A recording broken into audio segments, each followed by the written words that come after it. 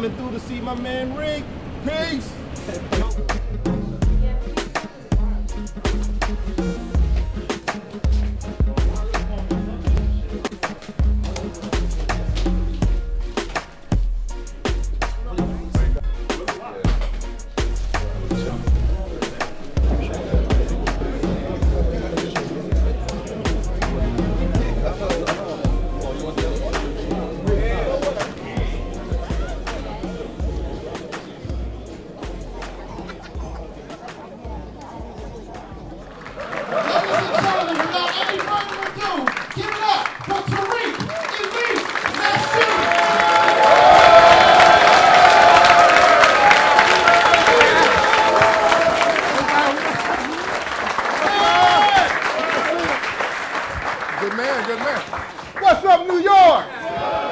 tell me about the village, man.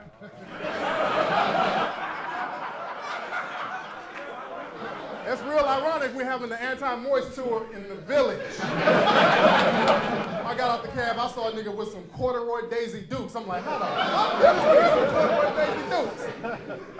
But man, I had to bring it to New York, man. I had to bring it to New, New York. I owe you guys a lot, man. When my book, The Art of Mackin, came out 10 years ago, give it up for The Art of Mackin.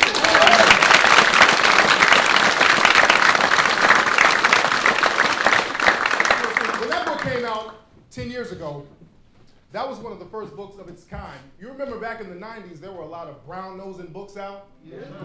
Like Men Are From Mars, Women Are From Venus. And I fell victim to some of those books, man. What made me want to start writing books, I got this one book, I can't remember the name, but I was dating this girl. And I said, I want to I wanna keep this girl, I want to read books and just tighten my game up. And I read this book, and it was like, you have to hug your woman 10 times a day. Then it said, when making love to your woman, look down and tell her you love her. so, so I'm doing, we're doing our thing, and I look my simp ass down. I love you. she dumped the shit out of me. so I'm like, okay, the advice that they're giving right now is wrong, so I had to take it back to my players. I had to holler at my street dudes and get that ism and get that real game.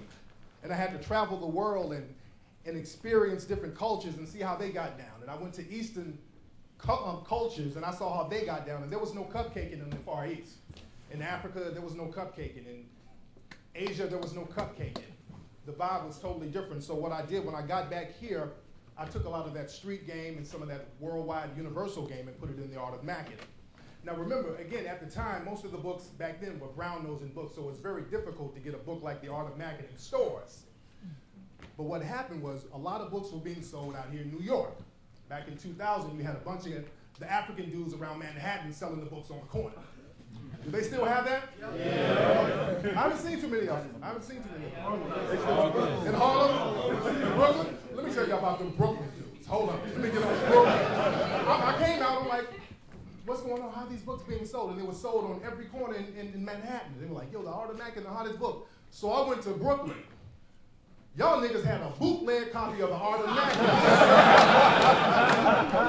How you bootleg a book?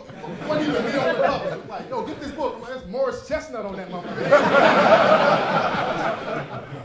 Back in ancient times, man, a lot of cavemen, they were opportunists. If they saw a woman walking down a, a path, they'd hit on the head with a club and drag her in a cave. That was their game. It was just based on just gathering women, gathering food, and all that old bullshit.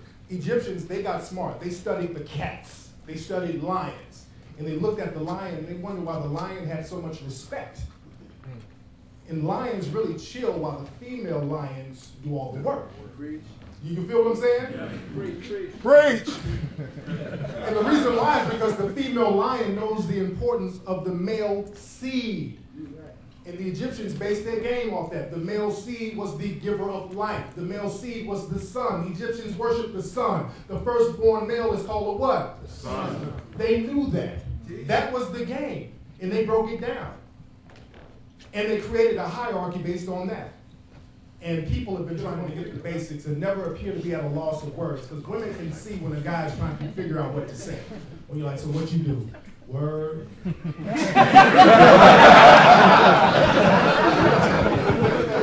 which way you trying to go to work? So you got to get to the bam, bam, get to the meat of it. What do you do? Who you here with? Man, okay, let me give you my number. I want you to call me later on and just keep it pushing. With married macks, man, you still have to know the maintenance stage. You still have to maintain the relationship. And I think a married mack has a more difficult task because it's just one person that you're playing against. You know what I'm saying? So you have to figure out different chess moves every day. Whereas if you're playing a chessboard with a bunch of chess pieces, you can use this, use that as a pawn, knock that one off, knock that one off. But you're dealing with the king and the queen. You dig? And that's real difficult. So your game has to be very tight when you're in a relationship. Some people say that you shouldn't approach a girl that she looked at you first. Even in your book, you say you want to uh, come at girls that are interested in you um, also. So what's your Eye contact is very important, man, because when you see women and you talk to women and you make eye contact, a lot of guys start playing this shy role. You start looking down, a woman look at you, and you're like, shit. And you look her dead in the eye and you keep your confidence level up. People respect other people who look them in the eye. Now, with that being said, you don't want to stare no motherfucker down. Across the room looking crazy.